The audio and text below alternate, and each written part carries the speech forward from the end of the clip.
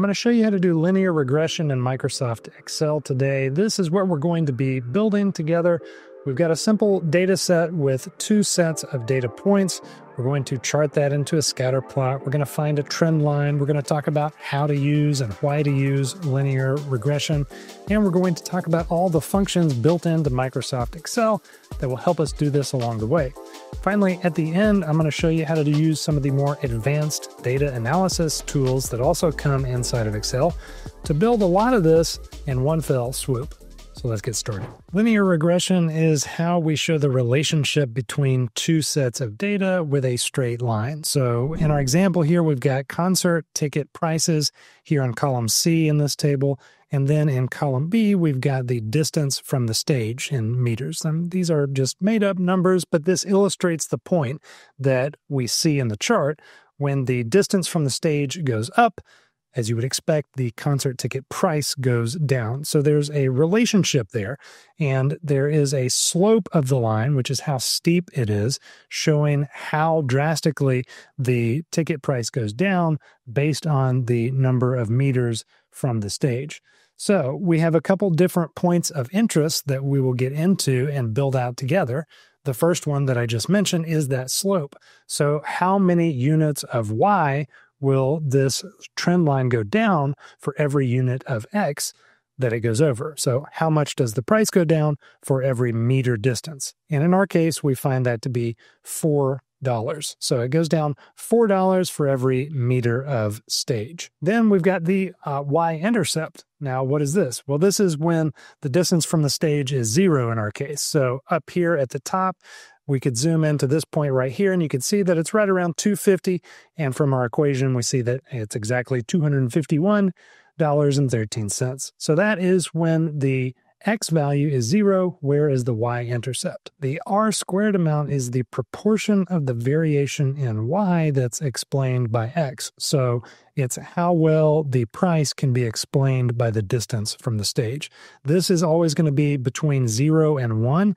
And as you see here, it's 0.99, so it's almost at 1. 1 means that you can explain all the variation from the y variable and zero would mean that you couldn't. So this it's a very clear relationship between the two values. The LINEST formula down here is one that's going to simply give us both the y-intercept as well as the slope. And then down here we have a forecast equation where we can just arbitrarily enter in some distance from the stage and it will forecast what that price is going to be. So if I put in 25, it's about 150 bucks.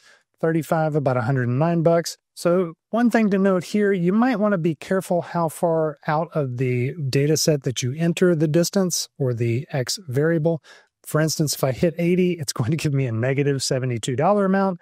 And while it would be nice to be paid to go to a concert, that is not real life scenario there. So it's simply uh, projecting that line to go down below the x axis. Uh, so you want to stay around wherever your data set is and not get too far out there because your results are not going to be accurate. Do you remember this formula from geometry class? We've got y equals ax plus b.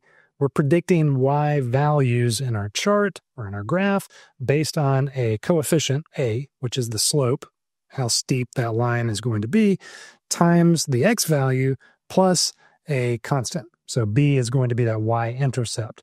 And so we need to find the slope and we need to find the y-intercept in order to be able to forecast different y values from this data set. So the first thing that I've done here is I've created a table out of these values. To do that, you can just highlight your data set here. I've got about 100 values in mine, and you can go to Insert, and then right up at the top, we've got this table. It's grayed out because I've already done it. Control T is the shortcut to do that if you want to use a keyboard shortcut.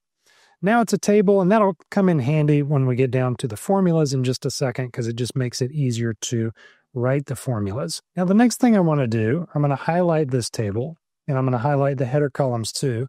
And I want to insert a chart. So we're going to go to insert again. And then right here in the middle, we've got scatter chart. And I'm going to insert the scatter chart just right there. There's a bunch of different types of charts in Excel. Uh, we're not going to get into anything more complicated than scatter chart though. And now we can see that here are all our data points as we would suspect as the distance from the stage goes up, that's the bottom x axis, the price on the y axis goes down. So the seats in the way back cost less as we would expect them to. Now, if we want to change colors, we can get this to match up with everything else we're doing. And there we go. We got some green little data points and we'll format the chart title and the data sets over here. Let's just click everything in the chart and there we go. Okay, so the first thing that we want is to throw a trend line on here. And so to do that, there's a few different ways. One, you can just uh, right click in the chart and there's an add trend line button. Over here on the uh, edge of the chart, we have chart elements. We can add the trend line from here also. I'm going to click that little checkbox and let's see what we've got. We can select linear, exponential, linear forecast, several different options. So for our purposes, it is linear. And then if we come in here and we right click the trend line, we can format it. Let us display the equation on the chart. So that's going to be handy for our trend line to be displayed right there. Let's right click that again. We can display the R squared value on the chart as well. And then finally, I don't want it to be a dotted line, really. I would like that to be a solid line. So let's go over here and you actually uh, can select dash type to the solid line here. And then I will make it not green, but rather a darker color so you can actually see it. And if you want an arrow, you know, hey, we can put an arrow so you can see it's trending downward and to the right.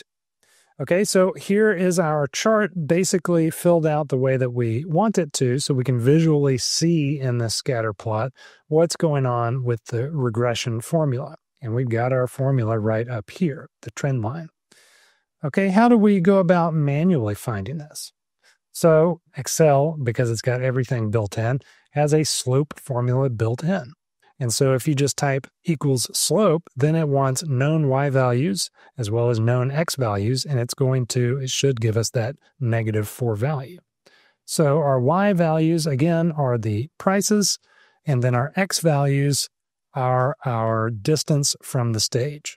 So we select those columns from the chart, and there's what it looks like right there. And you see that we've got our slope of negative 4.0469535. In the same way, we can find our y-intercept by just typing in equals intercept and doing the same thing, our known y's. And this time I'm going to just select our table, which is this table 37, bracket, our y values are the price, our x values are, are the distance, and there we've got that $251.13, which is the y intercept. And again, that is where the price would be if you were at zero distance from the stage. So that makes sense. The highest price tickets are going to be up close and personal right there at the stage itself. Now, to find out whether or not there is a real correlation, how well we can predict the y value from the x value, we can use the r squared formula. So, same thing, we put our known y's in there and then we put our known x's in the second argument, and we get the r squared value. Now that's 0.99. Again, like we saw at the start of the video, it very well predicts the y value based on this equation. To get both of those things, the slope and the y-intercept in one fell swoop, there's a Linest formula, and that takes, you guessed it, the price, the known uh, y values, the distance, which is the known x values, and it gives us both negative 4 for the slope and 251 for the y-intercept, just back to back. It's what's called a spill formula. It spills from this cell where we wrote it over into the one right next to it. So it's got those two values. And then finally, what if we wanted to do that forecasting? So that's the point of why we do these linear regressions anyway, is to figure out how to predict future values or how well we can predict future values. So if I had a distance, like I said earlier, of 54 meters from the stage, what's the price going to be? Well, we could manually plug into our equation up here in the x value right here and go negative 4 times 54 meters plus $251.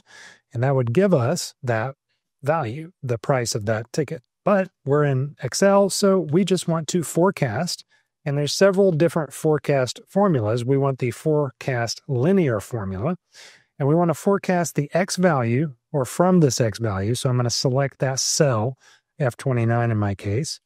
and I'm going to put in the known y's again and the known x's again so that it can have that data to go off of. And it's going to give me the forecasted amount from a seat that is 54 meters away. $32.59. Sounds like a bargain to me. What if we could do all of this in one fell swoop? Well, as I promised, we can. Excel has data analysis built into it for exactly circumstances like this. If we go up to the Data tab in our ribbon, and over here on the far right is this Analyze section where I've got a Data Analysis button. You might not see this. If you don't, come over to File first, go down to Options, and then come over to Add-ons, and then down here at the bottom where it says manage, make sure you click Excel add-ons if it doesn't show up already. Select go, and then make sure this analysis ToolPak is selected. Click OK. And then once you do that, you should have a data analysis button in your ribbon under the data section. Click this and you'll see a huge list of all sorts of analysis tools. We're going to use regression because that's what we're doing. And then we're going to, inside of here, input those x and y values again from our table. So I've already done that with our y values being the price and our x values being the distance from stage. We want labels on this, and I selected the output range to be in our spreadsheet down here. You can put this on a new tab if you're building a legit workbook and need that for presentation purposes. Down here at the bottom, we have residuals and normal probability sections, and this is outside the scope of what we're talking about in this video, but just know that you can do a whole lot with this built-in tool. I'm going to click OK, and now we can see that we've got a summary output of all of this statistical analysis for the linear regression right here. Here's some stuff we're familiar with, our R squared value, standard error. We've got this ANOVA table right here. And then we've got intercepts, coefficients, and as you can see, there's our y-intercept right there with the coefficient of negative 4 for our slope. Standard error, we got p-values right here if we want to test the confidence level of our data. I hope that's helpful for you in learning how to perform linear regressions in Excel. We've gone over how to take a simple data set, turn it into a scatter plot, graph a trend line. We learned how to find the actual values for the equation of that trend line, both inside our uh, graph tool as well as down here with the built-in functions. And then we learned just now about how to do that all in one fell swoop using the data analysis tool in Microsoft Excel. Now, if you want to go deeper into regression, there are multiple linear regressions instead of just a simple one. This is just taking two sets of data, but you can have more than that. And DataCamp does cover these things in more detail if you want to check out some of the advanced courses at DataCamp. Okay, what about the math? I know you want to get into the nitty gritty of how these equations are actually derived, and let's do that right here in Excel. So for simple linear regression, these are the formulas that will work. In multiple regressions, they do not work. They're different formulas because it's different scenarios, but for our purposes, to get the slope, we have r times the standard deviation of y over the standard deviation of x. And r is the correlation between the y's and the x's. To get all of these values, we simply have formulas in Excel. So first up, we've got the standard deviation formula and we'll just throw in the values of the Y table right here in the price column. That's our Y values. We're using the .s version of this equation. There is a .p version as well for population. If you have the entire population data set, we do not. If you're in an older version of Excel, this might also not even have an S on it. It might just be STDEV. That works just the same way for 2007 and previous versions of Excel but we're going to use the modern syntax of .s. Then we're going to do the same thing for the x values right here for the standard deviation. We're going to throw in the distance uh, values from the distance column, and we're going to get 59 and 14 for those standard deviations. Then for the correlation, R, we have another formula, CORREL, short for correlation. We're going to throw into that two arrays, the first one being our y values, the second one being our x values, and it's going to give us this negative 0.99 correlation between the two. Remember over here we had r squared, which is a positive number because when you square a number, it's positive. And uh, so we needed just the correlation value so that we can get that negative slope from it. And now all we do to get the slope is plug in values. So we've got our R value, and then we multiply that times the standard deviation of the y's divided by the standard deviation of the x's, and we get negative 4.469534, which, as you can see, is the same thing we got when we simply used our slope equation. The only other thing we need for the intercept is the average of the y's and the average of the x's. You've probably used the average formula yourself. We're going to put it right here. We're going to throw the prices in there from our price column and then the distances from our distance column. We're going to get those values. And then for our intercept, we can simply plug them in. We take y, the average of the y's, minus the product of the slope, which we just calculated, times the average of the x's. And there we get that $251. Remember that uh, corresponds to our dollar ticket price amount for our y intercept. And if you scroll up here, that lines up with 251 when our distance from the stage is zero. But wait, what? That doesn't make any sense. What if our logic breaks down and it doesn't make sense, as the case is here? You cannot be zero meters from the stage unless you're performing, and then you're not buying a ticket. You're hopefully making money off of the show, so it breaks down. What do we do when this happens? Well, we simply put our thinking caps on and we use common sense and we know that that does not work. If you get too far to the zero uh, value here for the y, or too far down at the other end below zero for the x's, it just falls apart. As we showed down here, if we enter 80 as the distance, the price is going to be negative, and that doesn't make sense either. So we can just hold to what we found here, and that is the slope is negative 4, which means for every meter of change closer to or away from the stage, the price is going to increase or decrease by $4. So if you step away from the stage by one meter, the price goes down $4, so forth and so on. That's what this means. That's the important piece of information that we can derive from this simple linear regression example. So don't forget to give it that final litmus test at the end of just common sense. Are these values making sense when it comes close to one of the axes? Thanks for watching and have a great one.